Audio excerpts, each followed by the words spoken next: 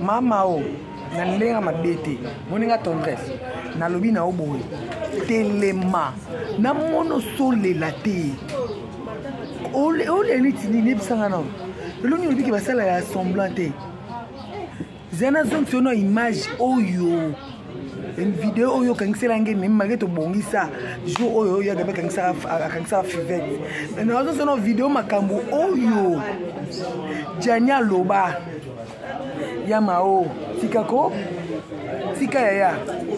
soki toyokana ngano na ndenge mabe te okolela eloko te jani eza bolamu asalela yo te au contraire asala humiliation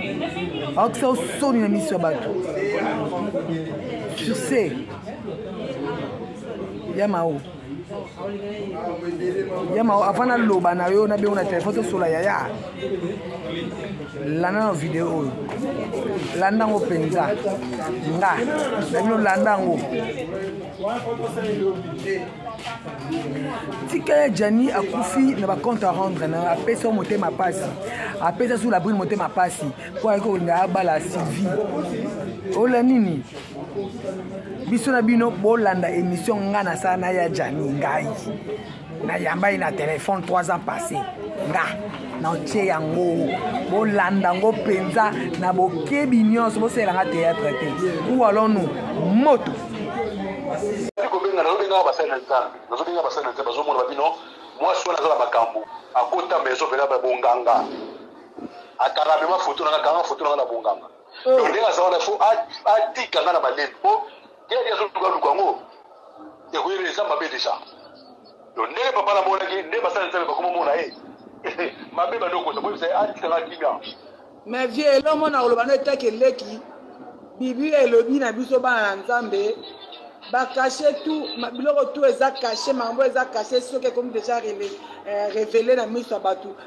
eza nul sans effet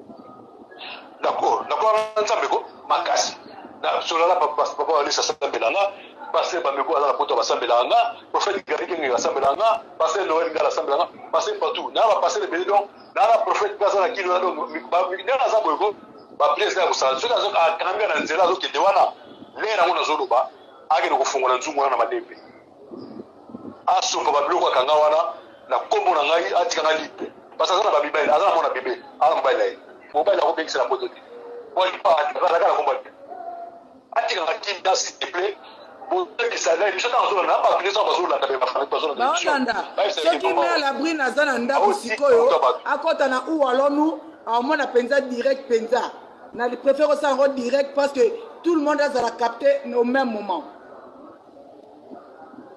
te aza abimaki abimaki sikoyo vie na nyonso oyo okoki koloba nini na bandeko bacomédien to yebisanga vie naza moto ya liboso oloba nde makambo oyo to avanga deja oexplike deja bato mpo tokomi osite na suka ya émission na biso yo oza nde sika bande kobisa deja bellevie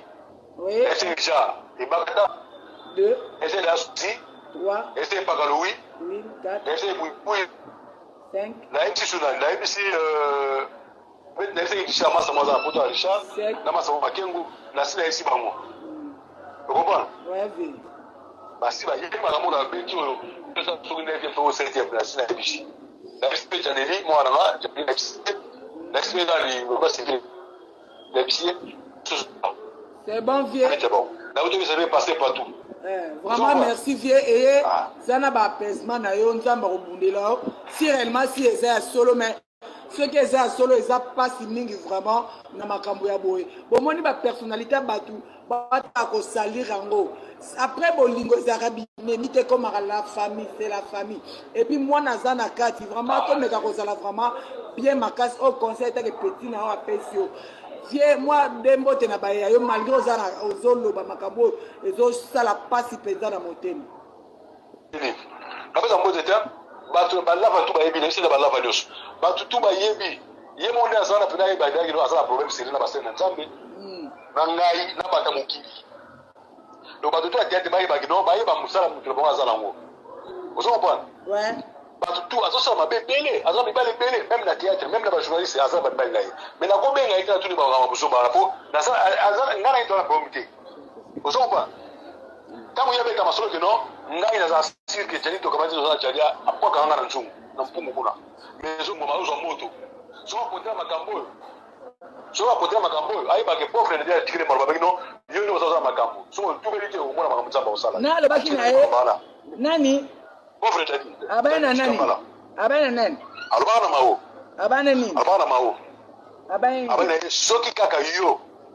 abende soki kaka yo makambo oza nango otiki te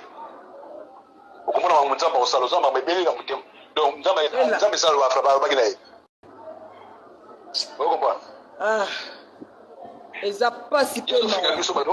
baparent bata mpasi bata matembele bandako lelo babata mbongo bafere ekoma ndima tembele na loba ayebi matembele ko ezala nango eh, legime préféré ya bato nyonso ekoma matembele edomina na pondu si oh. vie vraiment merci na ngonga opesi biso soki euh, likambo mosusu ezali oyo obakisaki te okoki kobakisa mpo tokomona suka epuis epuis mwana oyo ngai natindela mbongo ya voyage eza ndi bien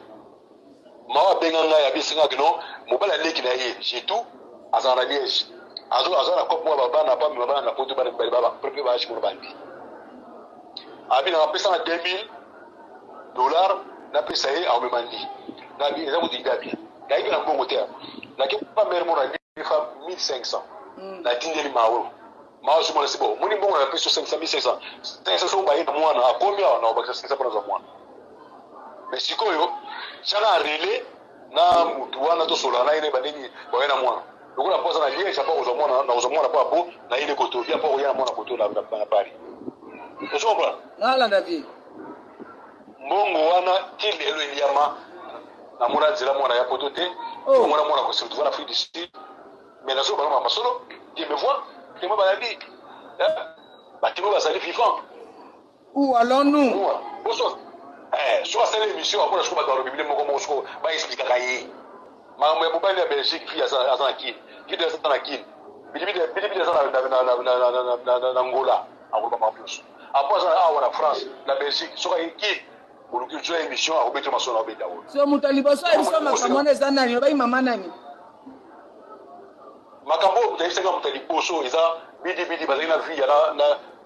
david elwe bango bayi makambo na toloba ozo comprendre soki balobaka te balingana kokotama maba te mais natangi bango po natangi bango te po soki na ndeli te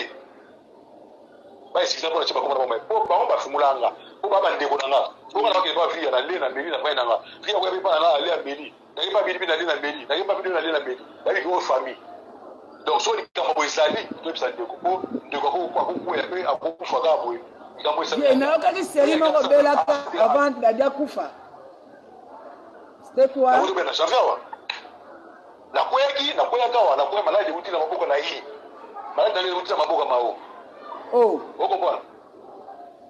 eh. makambo basala nzambe baona na makambo oyo bazomona ye mpe yango kuta wana nayebi ete mayebisinga makambo oyo so malade oyo nabengi na jardin ngai tosona mpo verite c'est-à-dire faut kendaka église kendaka église okomema bakisi mona mpe bapaster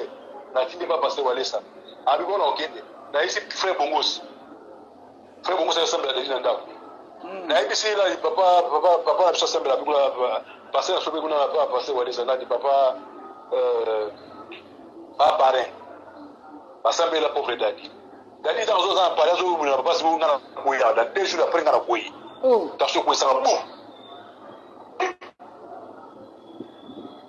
tosi okwesa ngai nakota hôpital nasala 17 jours na mbete hôpital bazosala mabe naki nakufa mais nzambe alola abi te oza na misala ebile kosala oza na bana bana nano nano osaleli bana no te ozo comprendre hmm. nano osaleli bana na yo te okozonga na mokili nazonga na mokili omo nazala boye amen mokopope dada yo akufi mokopope dada yo akufa na bi ngai nakobima libanda kwa dada akufi nakovanda na hôpital te il faut nabima lelo tobenga bato baya esina mo ange iluda azalaka na puna france mwasi na ye comme ya fille bakei ti na hôpital balolanda bamédecin na bi boyebisa médecin na fona bima bakoma bakisi bakoma bakisi esalanga 120 euro hmm. nasomba batala mbadi ya bakisi nzambe na likolo azokanga ye tala baki kisi na bana omela donc omona omela kisi po te voi eza suni bien te naloba kwa mwana oyekola koloba namelaka mai chaque jour fana mela 5 litre mai po ekulaka nasubaka Notre service fret Peniel Shekiria esala ba promotion mpona kotinda biloko ya precisement na Congo Kinshasa. Tosali ba promotion moko eza vraiment intéressant mpona ba carton oyo ezokende par bateau.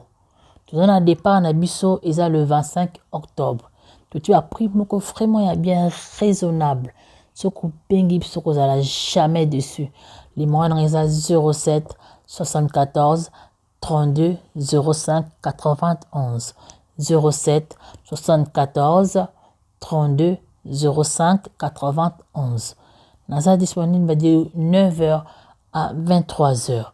benga tokosolola vraiment bien oza mpe na bandeko na posema na congo kinshasa olongo osala bango bacourse biloko ya kolia na cour kinshasa ofuti mbongo awa na france na kisi balivrement biloko be bakozwa biloko sur place na magasin tokosala yango monde entier oza na belgique oza na londres états-unis canada suède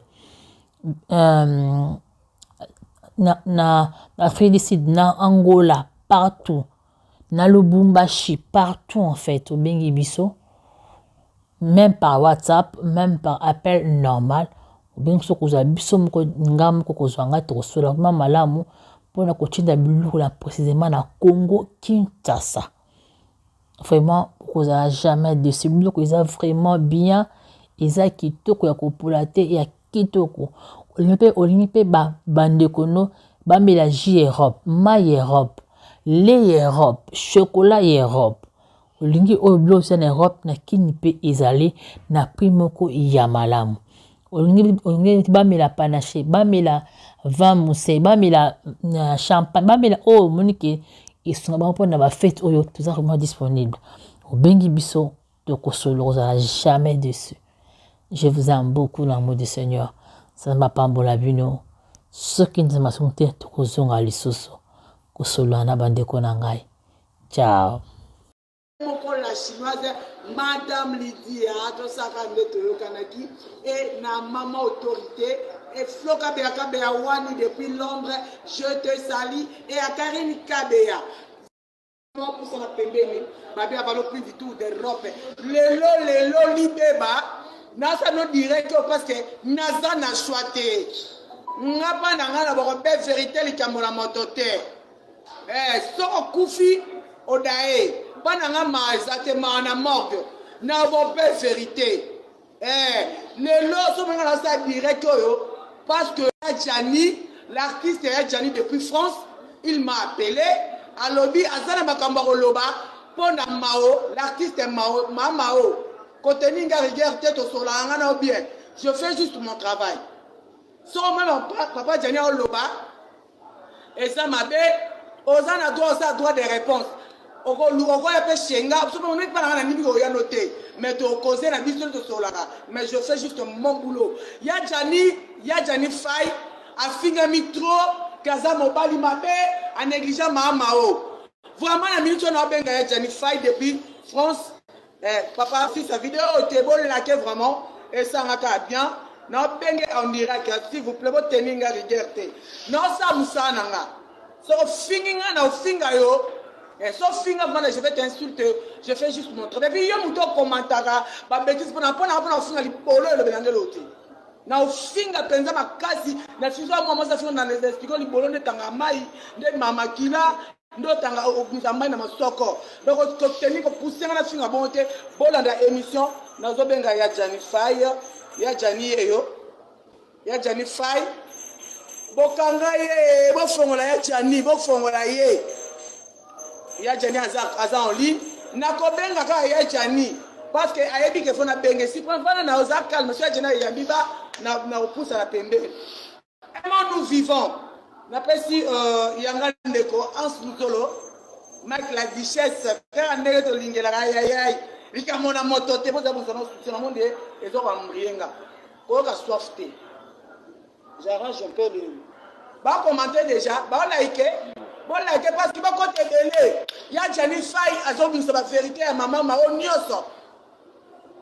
ya gabi eyendela yango na ntina dada delphine anga bande naomona nde bato baolela ebele likambo na moto te oteninga rigueur te wifi eza ja ofungama eh, nga asala wifi natyaka mega te eh, to ndenge moko te bokeba boleka te bibingaki pale mawa awa eza te mawa na morgue okoboma nga pamba tendresse bolake bon naoloba verité eh. Eh. mitema ete bubu bolake bolake komona personne deja baza bakomata bakomata 100 ye oke zwela ngai ozwa ye bien ayambi ya fai ya jani ya jami oza en direct oh, na chaîne na nga uwalonu tv likambo na moto te yaya yaya obengaki ngai na ntongo mpo na kosolola na ngai makambo ya mama mao oyo napesi mbote ex na yo donc euh, yango wana yango nalobi boye napesi ye mbote ebele sikoyo oza oza en direct soki mpe mama na brine aza wana ye biso akota sikoyo na ou alonu aomona direct mbala moko na youtube na nga euh, tolingi ose présente opesi mposa na ovie toleka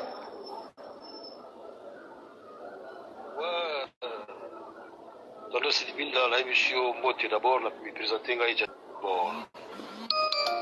namoni kaka obenga obenga bobo yango nabi ah problème nini donc eza ngai voilà ya jani loba e loba toyoka e naloba boye mpo nayokaki ozotuna tuna kaka ono nga nasundola mwasi nasundola mao nasundola mao na kisasa eh, nabwaka mao nakima mao bobeti mambo ebele ebele nayoki yoki yango tuna mato ya bato surtout bamilia bacomédien bato mpe ya mokili bayebaka te pourkui ngai naboya ye tokokabana na mao bato ayebaka te donc lelo tona bana bino verité boye nzambe azoyoka ngai oyo bayebi bayebi oyo bayebi te baye bango nde lelo wawa donc mpo euh, bacomprendre ke non ngai naboyaki ye mpo na sentiment te donc tozali kofanda na ye nanu tozali kozala na ye nanu nazalaki na mwasi moko komona ye gisele bondo mais nga nabala nalati alliance tokomi pré alliance boba mao aye kocomplike libala wana acomplike wana nde mivie atobundisa bino bana bamakambo na ndenge bamystike bamakambo na mystike te nayo tika fille wana tokoyamba mystique nde mivie mystique faut ko éclaircir bato alikambo na moto te tobobeba maison ozo comprendre eh. après après ezali mwana moko to moni ndako alobaka ndako yango ya kitambo ya kitambo eza ndako ya sere na bango mimi ya na bango liboso ya na bango moto akesi ndako wana aitizaki ngai pourkui ndako na ka mobile so moto akoti wana oza civil mobile aya kobotola yango okomi ngai nazalaki civil nayaki chanify naza kofanda wana moyembila monde atie baolanda ozie Voilà, après eye kosala ke ngai Jali Faye na ke Brazzaville na mwana tobotana mako komoni Andy aza 4e na mwana na bana 9. Wana bana combien? Merci. Na bana 9. Donc mwana liboso komona ye Lasconi, ya mibale komona ye Deborah, ya misato komona ye Janeli. 4e komona ye Andy. Cinquième kombo na ye Lea Chancelvie. Et sixième kombo na ye Jean Daniel Faye. Après Daniel Faye eza Victoria na Tresser na Dylan baza na poto awa. Na kin na na 6 na poto na na 3. Donc ntango bato ya mokili bayinaka ngai yo oh, anyokola mao asala mao boye boyoka ngai bie makambo nazoloba nalobaka te melelo so nalobi eza nzambe abeti non pauvre pululu mpe asona baza na se mabele pauvre dadi mpe asona maza na masina mabele nake tournage ya, ya pauvre pululu na kinsuka ntango azofanda na kinsuka tozalaki na bapapa océan tozalaki na babidibidi bavi ya bavi de loin makambo nazoloba na bino boye vi aza témoin alibisa mpo na tikomoni na makambo oyo natie temo mpo bacomprendre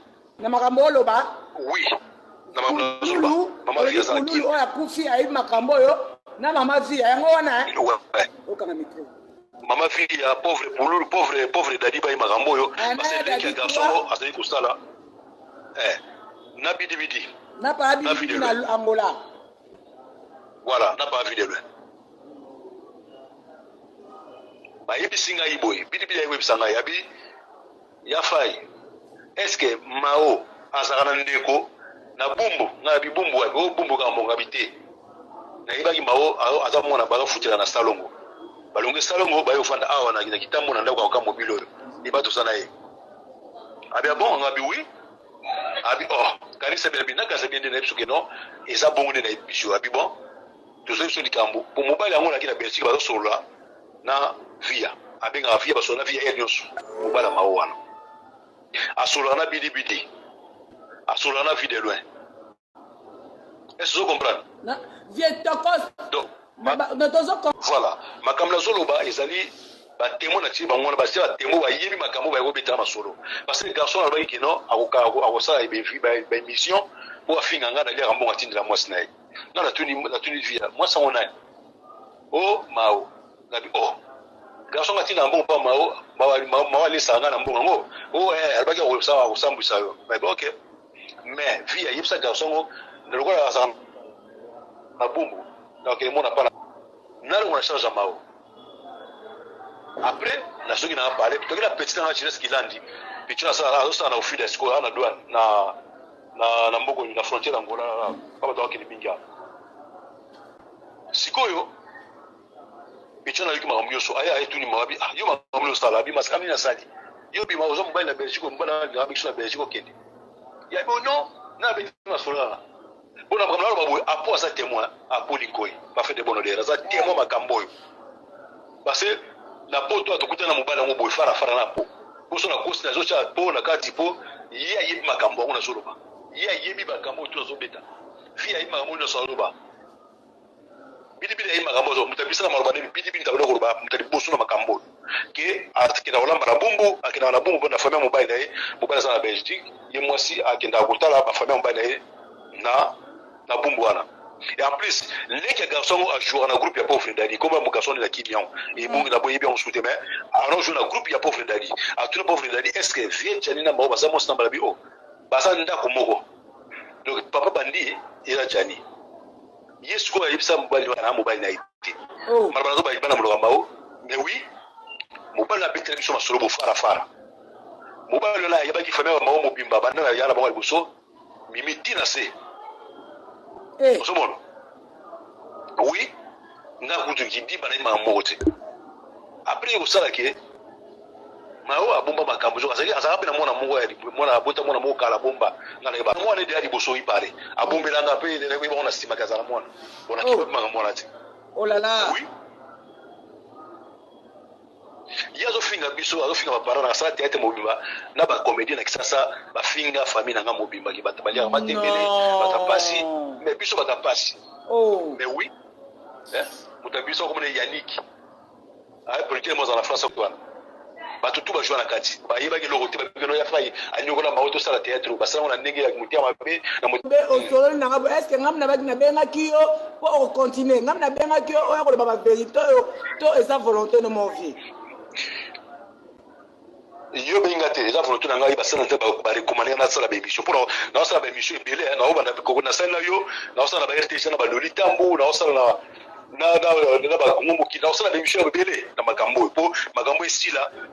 po alapa nkombo na ngai atambusaka nkombo na ngai bongo te ake asengaka mbongo te na nkombo na ngai po amemaka mwana atambola na mwana orke naza na bana nef na kisasa na six na ki six na kin tro na poto bona nanga bien nalala te bato bafingaka o baofinga bato nga natengaka nkombo na bango natenge bango na bango te na ndenge mabe hmm. oyo bato bakasa te bato ya bobo te natenge bango boyeba eclaircissement pourquoi makambo ekomati na niveau ya boye hmm. ozo comprendre et après ntango nayaki makambo wana amodaki mwasi aza amoto ya mabe alingaka sote ngai premier akende apoto atitika nga na kidiba hmm. na eloo nasala eloo nasala epe ayibani te asenga ngai 1400 dollar asala salon de coiffure nalati naa na mbongo te parce que tosali badigala wa liboso ya lopango bato nyonso baza na ka mobile bayebi bato ya kitambo ya bandali bayebi ke tozo aza koteka liboso ya ndako wana asala likali 4 frekoya na bakisaka mbongo sikoyo esenga wana na 2008 asifetela ye mama na anniversaire ya 30 anniversaire na ye bato aya na bafiti meme baproducteur alpha bokolo honorable ayaka na future ape azalaki invité ayaka vacances na kini na invité mpe na future azalaka mm. bato bazalaka na ebele ba 2 minute baduti bazalaki mpe na matanga na future wana ya 30 anniversaire mm. bato azalaki mpe na ebele wana na leki yango makambo na yo mpe hmm. ozalaka mario kasi toloba nini mpo ezalaki ndako na bango ndako ya na ye nazimeka mario ti toloba nini ah, merci vie voilà eh. après naye kolonga bandako nyonso mawa azalaki kofutela eh, bandako ngambo na kofuta yango ngambo naza kofuta yango ntinaki na poto nazongi kidiba nakoyeba eloko te landanga mpo landanga bien hmm. ndako wana ezalaki ezalaki baleka mopati mona basusi e après eye kosala nini nabi te mwana mosoko asali boye petit wana jesus atuni ngabe natuni ye nabi ah yo oza mobali na poto te mobali ate kale na otuni mokolo yango na ma un certain madango na 2000 fana telefone ya garçon ngo ekoti abengi ngai oh. Oui. Allô, eh, wana pe janga biwi ngai. O oh, fina na sona yo na bi yo na juste po benga ne nkoni na ba benkoni te. O pona zo tanga ba ndeko ya mawo, famille mo ba mawo, ba grand sœur et tina se. Ayi ba komona ba on. Ba sola pe na ba on. O so comprendre? Ah na na vie. Asula pe na ba on, na yibite. Na bi ah, na ba ndeko le o na zana ba ngwara bokola na ndako. Ba zana makambo ba bombela nga. Ah, eza famille ye moto akobebisa mpe masolongo aza te baba otala bonheur ya vie ya famille ya bandeko na bango naleki nanga na bon nake kobala nalakaki te natikaka makambo etaki mobali nasala mariage na sylvie moliso azalaka na limete azotaka na kisanga nabengisaki kini tosala mariage ya deux semaine kaka mokandi elekei na ndenge akosakana te nasali mariage moko ya rapide tase mariage nakofa na hotel moko na flete moko na limete na na troisième ri na kati kuna naza ovanda wana jour mosusu mpe pompon pompon miyaka yo monaka mpe na flat wana ayebi oko ozo comprendre sikoyo bazongi na ndenge na biloko donc nde ezaka oyetala mwana kaka da kidi bango bapesi yo baeloko mo bakilote boko kilote kaka ba kokona bomba bakangi yango wana mira esa asalaki nini bakendaki na ye ayebi makambo nazoloba mawa azokobana koloba greki mpo banganga te oh. eh? Eh oui eh, et après naye ozuli ndako na sumbi wana alongi na ndako wana akei na sundi na se kuna na sundi apres mwana atika okufa aye ozasimi donc aveugle nga susu nabosaki nasalaki mariage ayo jase apedi ayo osalaka ye biso tokende poto toyoya poto ntango na ye poto nazali kaka toujours aveugle mpona nanga bene hmm. nazotinda bakarto ya biloko ezokoma pana po basi toyokana na po tozonga toyana ako tozonga na biso kaskini natinda biloko tu ezokita pambao ba telefone bilamba bilo pesa ekita pa mao na matanga vie esa susi natindi le mbongo soki ba 500 euro boye 500 dollars mpona bamangama matanga kaka vie esa naye boya quand on est au sein voyage moto qui est belgique na po tokomi na po tofandi boba ndako tokomelaki ye mpo masa biso mo mere mtaka tika biso na pala tofanda tolala wana mpo tozonga wana mpo azana na paris awa abakende kofanda na belgique eye kosala sikoyo garçon ngo aye na ntongo na ndako yango aye kobongisa mine ya soi-disant te na mpo na sa mpo akwa wana ye na salon azotala te misi kua azotala information ngai naosokola garçon alobi o oh, via euh, mpo nene sonave ngai naosokola garçon alobi o oh, euh, diapo nene sona vete na esika bozali awa ah apabi ozoluki bwani ote ngai nene asengi beskise eza ngai nde moto azali mobala mao na naesa bango na poto oh. kaka nde okamwe ndenge apo akamwaki ndenge amona kamwe bongo sikoyo abe ofai apo eseni okende ofai oh, azala moto ya brital nazala likambo ezala motema nanga fo nasona yango wana vete ayiba ovanda apo avandisi ye nape nasisa nape naye naye apesi mboya bia bonjour a bonjour nakasika mopaya ye otala bato bia ayepa na biso te baba bio apwesa no melo moto azoluka yo ngapi aoluka ngai ya mpona o oh, kasi ye nde mobali ya, ya mao oh. oh. oui nga beza nde yo abi oui fi ezalaki ngai oh kasi ye nde mobali ya, ya mao oh. oh. oui ngambe eza nde yo abiwi fi ezalaki ngai bazali ka moto atai mpe kwa bilali nabi ok c'est bon problème te bon mais eza te nzambe kai mwa yebe ngai bon ngai mpe na, na, na motu wana nafiki wana tuka tozala su te tozala su te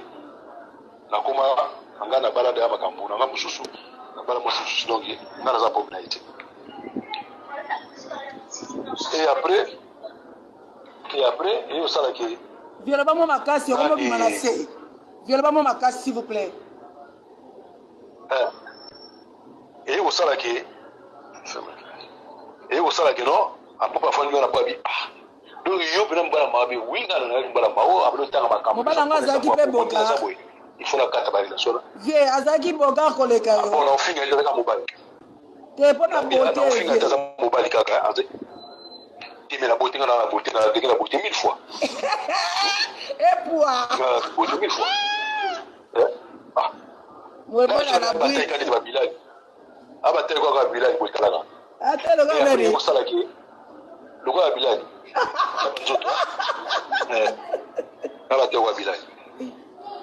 eye eh, osala sikoyo ke tozongi bali na esako oyoki yo moko omoni mpo makambo bandaki na po ayebaki yango nti toyeba poto makambo yango toyei omona sikoyo moto yango vis a vis boye nabenga mpe yemba wana eseneno tokuta mobali na yo wana watinda parce que garçon wana atindilaka ye 1400 dollar 1400 euro asala salon de coiffure hmm. ozo comprendre nalanda vie toconga bipa abi napesa 2400 euro asala sala likuafika bino nayese sikoyo makambo mogaso alobi na telefone eza lokuta mpe ya solo wata to na kini o akosi na biso boso akosi ye azoloba gaso abi ah, me basi babandoki yo mawana pesa omongo na yo te nde oza na yo topesa omongo te 1400 dollar na pesa yo te loba verité maboko ayoki soki maloba soya te nga na esemoni yo mpo tozalo bien mpona bala te mpo na valino eh. namona na mesa oyo nazokisa mbongo na ye nabe afana ndimba kozokisa mbongo fana mona demba bi wana ozwaki oyo retire mbongo wana oyo otinda ye mbongo ozokisa mbongo ya bato wana lokuta alia mbongo wana epuis na bana na nga nyonso aza mona kini na baasisi na kini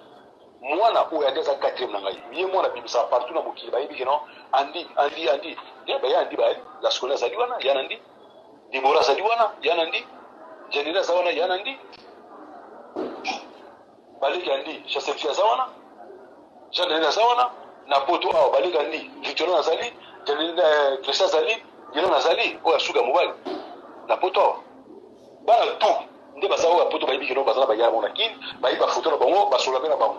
basola na jean daniel basola na basola na lasconi basola na debora basola na jande sikoyo basola andika nde basola te na bana nyonso mpo na nini mpo na mama na bango abloka mwana neti kaka kino mwana oyo eh, bazonyokama banini tututu bino boza na kimo mona sante andiki eza te eh? bamakambo oyo asala na afrique du sud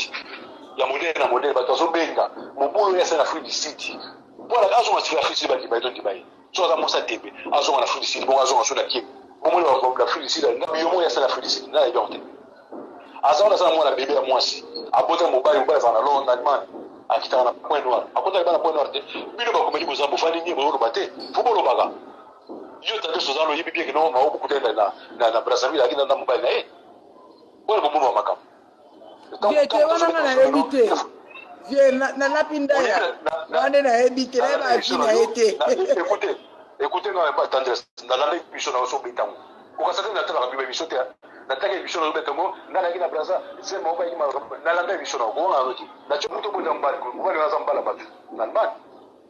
ozo comprendre mwasi na ye abenga na bulike alobi nayebisa ngai ke eh,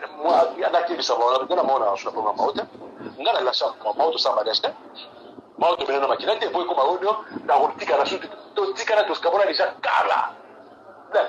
na kisasa na poto te nazalaki na kisasa ngai na mao tosila na kisasa ozo comprendre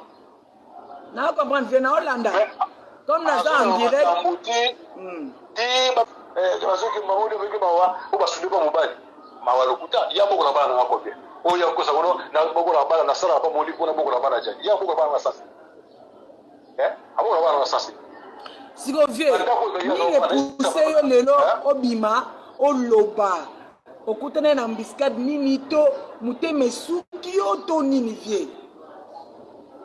non nakutanaki na papa moko naza koleka na nzela nakotaki bonganga te beri te naza kolekana na nzela papa moko ya sénégalais aza noir papa peda atelemisaka na nzela abenga bi mon fils vient nga bi quoi papa abenga nga t'as beaucoup de problèmes comme tu es là nga bi oh moi abi oui abino oza na fosambela makasi po mwasi mo azalaka na nsima na yo alelaka tout jour na kombo na yo azala mwana mobali atyaka mwana mobali liboso ye na nsima azolela na kombo na yo ozolandanga nga na bi oh